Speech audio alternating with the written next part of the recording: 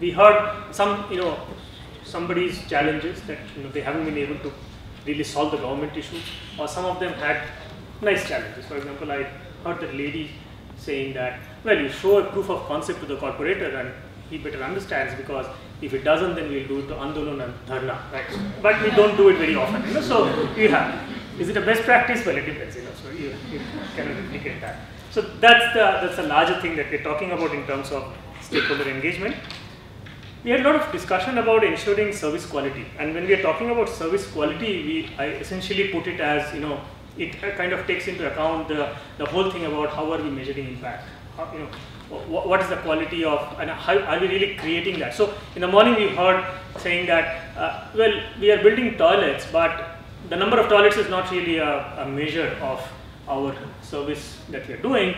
It's the usage which makes us realize that. So, you know, it's, it's good that you are, you are pushing yourselves to understand that impact. So there was a lot of uh, discussion. TFI, as you would realize, would probably, you know, uh, at a stage where they really have developed a lot of scales, a lot of measures, very driven by research in terms of saying, how do we measure impact, you know, what's happening. Uh, sir there had a very pertinent question in the morning saying, how do we know that reading a book actually is translating into the kind of learning that we want them to have? Believe me, sir, that's a challenge we also face in IIM Bangalore, right? right? Getting them to class doesn't necessarily mean learning. So, tough question. But if you are in the education sector, that's a big question you have to grapple with, right? We might not have the answer to all that stuff. That's my second one.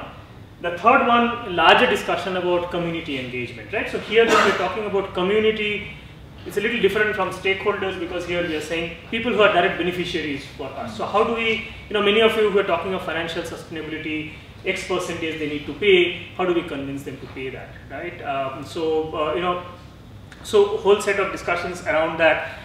One interesting thing which we heard uh, from Spark in the morning, you know, saying that uh, people don't uh, really trust others who are very different from them.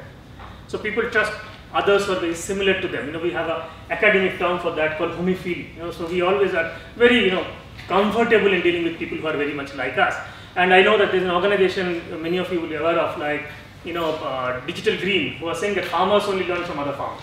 So what they're doing is they're creating videos of farmers saying, do it this way. And these are not agricultural scientists, but actually farmers. So when you listen to a farmer like another farmer listens, they believe in that. So that's kind of a best practice. Many of you might be able to think about it. So that's what we're talking about in terms of uh, community engagement. There's a larger bucket where, you know, a lot of things get clubbed is about operational challenges, right? We talked about, thought about distributing books in a very remote location. Don't know whether it's a very easy solution to that. Somebody said, can we digitize it? But that doesn't really seem to be happening in that particular context. Uh, have a very structured recruitment is a challenge for every organization, but if you have a nice structured training program, then maybe you can deal with many of the candidates who are not best fitting in an organization, but really mold them into doing what you expect them to do. And finally, there is a whole sort of issues about funding, and that's a box where really we did not have any of the solutions per se. People came and said, well, it's a challenge, one particular thing which was highlighted and I've heard about it so many times saying that there's always a challenge about to get funds for things like you know data analysis, data collection. How do we build that infrastructure, computers, etc.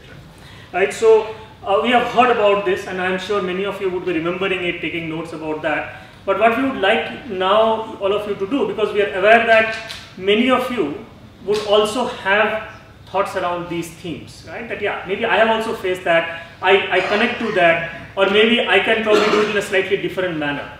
So that's what we would love you folks to do now, that look at these buckets. You can actually come up with a very different bucket, that's also fine. And, and discuss among yourselves, we'll open it up completely to say that, well, I think, you know, this is something which we should talk about, or maybe I have a challenge, I have a solution to that operational thing, and have a lot of discussion going. So when we went into the lunch break, Hari had this concern that it is becoming too much of a one way, you know, largely traffic. So that's what we want to break now and say, have a lot of discussions. If some of you want to use the board, we can help you to do that. And then we will close around 3.30 and have the, have the last session. Does it, does it sound okay? Okay, so it's, it's up to all of you.